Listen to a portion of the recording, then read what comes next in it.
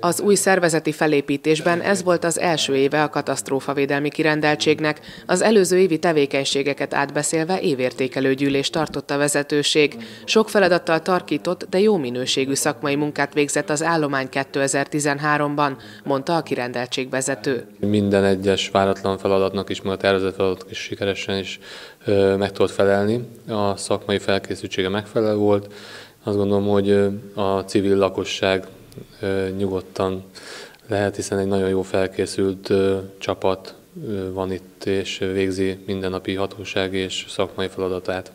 Erre az évre az egyik legfontosabb feladatának a vezetői utánpótlást tűzte ki a kirendeltség. Sok az új fiatal kolléga, és sok tisztet várnak az új szervezetbe.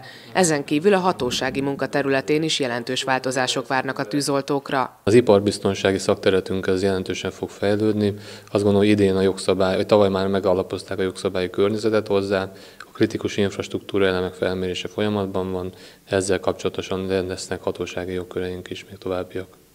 Egyik legnagyobb sikerének a nemrég átvett szakmai elismerés tekinti a parancsnokság. A Mosonmagyaróvári lett ugyanis 2013-ban az évhivatásos tűzoltó parancsnoksága. Ez egy nagy elismerés számunkra, szakmailag, mind szakmailag, mint mindenféle tekintetbe az állomány részére. Gyakorlatilag sportsikereinket, azon túl laktanya és múzeum karbantartási munkáinkat valamint a munkakapcsolatunkat a társzervekkel és az együttműködő szervezetekkel, önkéntes egyesületekkel. Ezt mutatja ez a kitüntetés.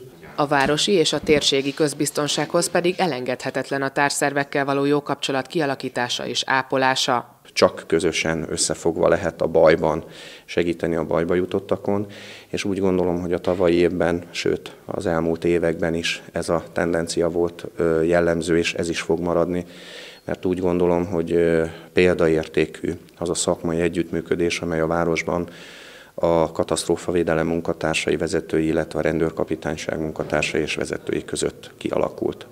A 2014-es évhez is hasonló reményekkel és tervekkel állnak a tűzoltók.